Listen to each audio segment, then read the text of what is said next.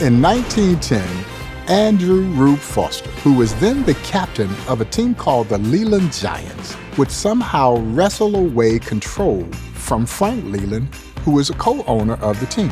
And in 1911, the team won a remarkable 123 games with six losses.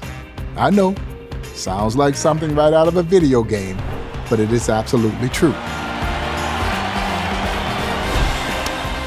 Foster would eventually change the name of the team to the Chicago American Giants. And if you understand how the Negro Leagues operated, it was very typical that they would add the word giant to their name because it would signify that they were a professional black team.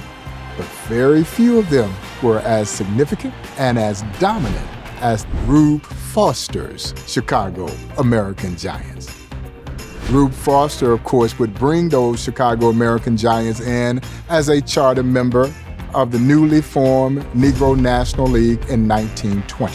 The Chicago American Giants would immediately demonstrate its dominance right out of the gate, winning championships in several of the early seasons of the newly formed Negro Leagues.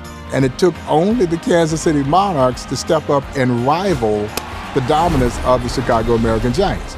But no franchise had as long a run in the Negro Leagues, 42 years, as the Chicago American Giants.